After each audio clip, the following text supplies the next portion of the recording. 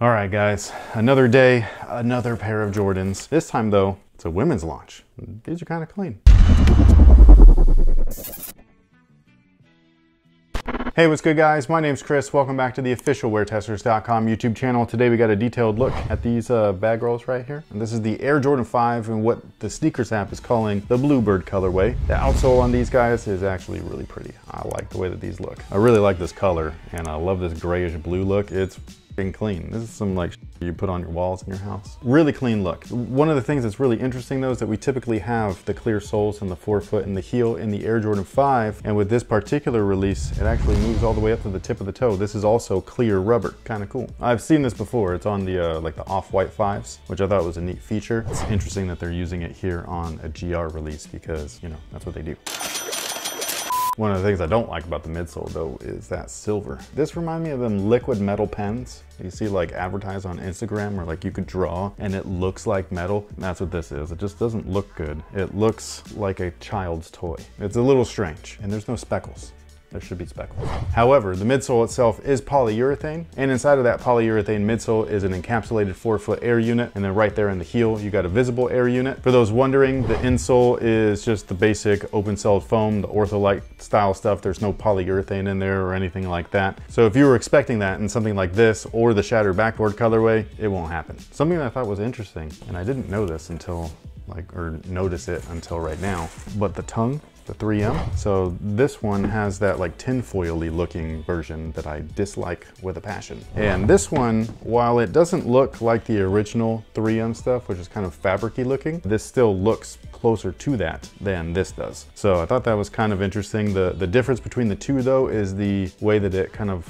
illuminates. Is that what you would call it, like in the in the light. This tinfoily looking one is way brighter than this one. Like this one shines, but not anything crazy. That one might blind you. You're gonna show? Sure. I was gonna get to a different part of the shoe, but uh, I'll show it all right now. So we got the flash on.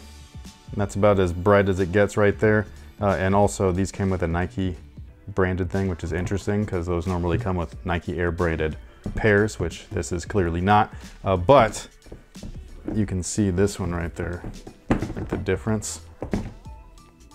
It's quite crazy.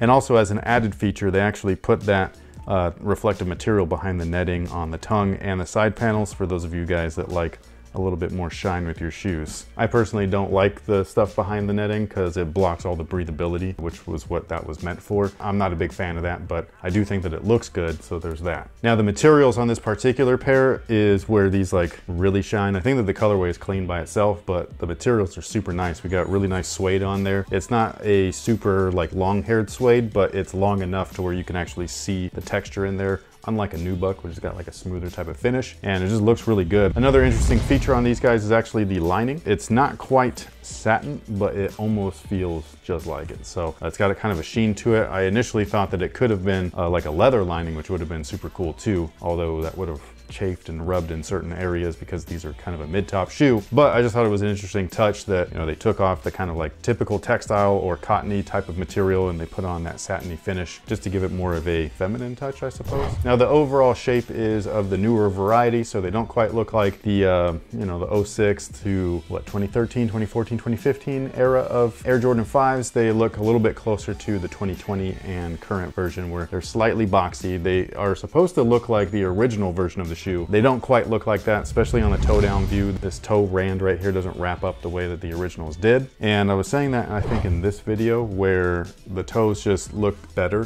when they're leather, when it's this shape. I don't know if you guys notice. It's something that I feel like you notice the more that you wear them because the original colorway in the leather, the, the fire red with the silver tongue, once you start wearing those, they do really give off a vintage vibe to them, which I really like, which is something that the suede versions, for whatever reason, just don't have with this new shape. They just look kind of funny to me. They look real boxy. Now, as far as their sizing is concerned, they do fit true to size. So whatever you typically wear in your Jordan 5s, that's what I would go with. Uh, this is a women's release. So on the box, it actually has both sizes. It's got the women's and the men's. So if you're size nine in men, you're gonna be a 10 and a half in women. That's the size variance or difference. It's one and a half sizes up. And they will be available at all Jordan brand retailers, including Phenom and Phenom Global. So if you're in the Sacramento or Elk Grove area, make sure that you're following them on Instagram so that you know their launch procedures. As far as the look goes for you, this is a brand new look on the shoe, suede everything. I love the suede. But what do you think about these? Because I know that you think that this color, typically, when it's the, the true UNC blue. This is not a UNC blue. Though. Yes, but but you do feel like the powdery blues are very 1999, Mm-hmm. which I don't disagree with, but I still like the colorway. So with this being like this, what do you think about these? I like everything about the shoe. So this I is think your jam they got right it here? on the nose. Okay. So does this scream female or this is just dope? No, I just think it looks really nice. Okay.